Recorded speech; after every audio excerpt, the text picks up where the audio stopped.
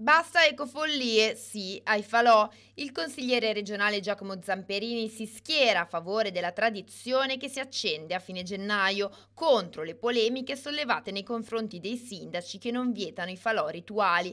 Lecco la città con l'aria più pulita della Lombardia, ricorda, non sarà del fuoco in una festa di paese a danneggiarla.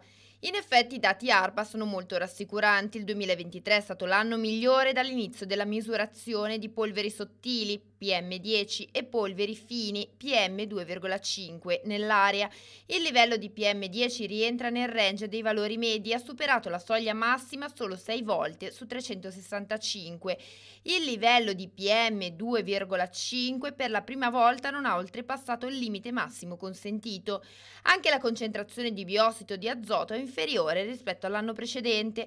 In questi giorni è esplosa la polemica sui sindaci che non dovrebbero autorizzare i tipici falò rituali di fine gennaio perché contro la legge, riprende Zamperini ma numeri alla mano, i dati sono positivi e in miglioramento. È assurdo quindi che ci sia ancora confusione sulla liceità delle manifestazioni popolari con falò rituali come quello per la festa della Giubiana. C'è una disciplina chiara in merito, spiega il consigliere di Fratelli d'Italia. Il divieto riguarda il periodo dal 1 ottobre al 31 marzo solo per i comuni posti a un'altitudine inferiore a 300 metri. Basta con le ecofollie della sinistra fintamente ambientalista, riprende Zamperini. Dovremmo ricominciare ad occuparci delle persone che non arrivano alla fine del mese, anziché seminare inutilmente panico sulla presunta fine del mondo. Su questo tema, conclude, chiederò un intervento chiarificatore a Regione Lombardia.